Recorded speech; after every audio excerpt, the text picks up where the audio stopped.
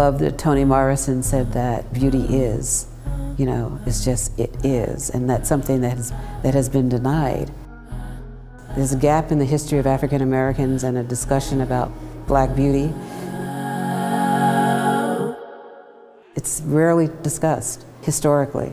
And so I thought it was really important for me to create a book and an exhibition that reimagined a history, a history that include joy and pride, that also has the complement and the discomfort of, of terror.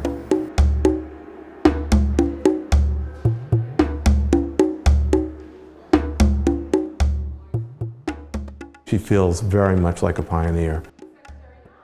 When she was putting this exhibition together, when she got it out there to start traveling, it was really well before the current movement of the notion of diverse beauty.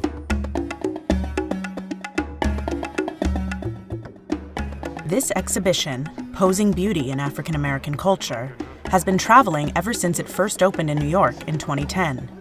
It's now at the New Jersey State Museum in Trenton. I'm amazed that this, this show is still traveling. Knowing that the, the request for the show, and, it's, and now that the New Jersey State Museum, is that people are asking um, the community, the curators, the supporters of the museums and the galleries are saying that this is a discussion that we need to have in our own museums. Wendel White's photograph of Tecolia Salters, a woman from West Atco, New Jersey, is part of Posing Beauty. She's smiling into the camera. Her house is decorated with art around her. Her handicraft, I don't know if it was a doily or something on the sofa, but Wendel captured something that we rarely see in older women. There's that sense of joy. To photograph this woman was important for me, and I wanted that photograph in, in the exhibition. She's looking at age and gender identity and a whole range of different things, and in, including, you know, remarkably beautiful black men and women in the traditional sense, but also in, in a much broader sense.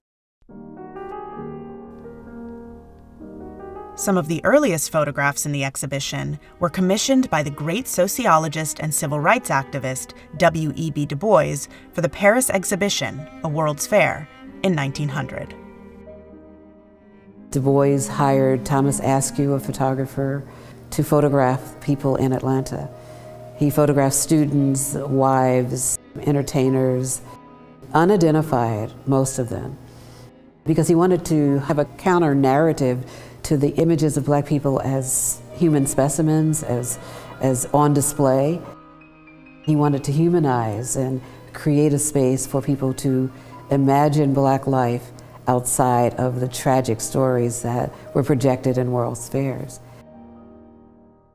Since its arrival on the scene as a book and later exhibition, Posing Beauty has helped shape a new narrative of Black beauty.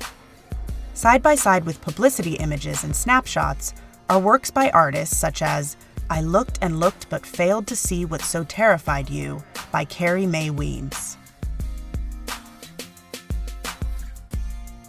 There's also an installation called Posing Beauty by the artist Hank Willis Thomas, but, Deb uh, Willis's uh, son.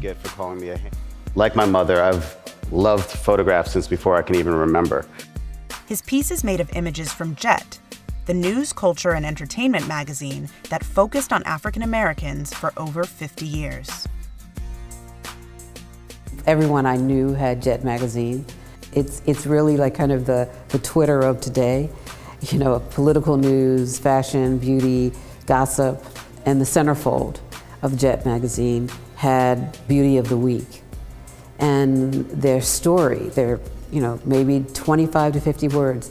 This is a model or a, a someone who wanted to go to medical school or flight school or become a secretary. Yes, the women were objectified in one way, but they also wanted to talk about their own desires to be, become famous or to become writers or to, to be acknowledged. Back when Deb Willis was an art student, she had a hard time learning about black photographers and even finding historic photos of black life. Ever since then, she's made it her mission to make sure that doesn't happen to anyone else. It's still joyful, you know. There's another generation who's looking at my book that's that's giving them inspiration to create work about the self and how identity is formed.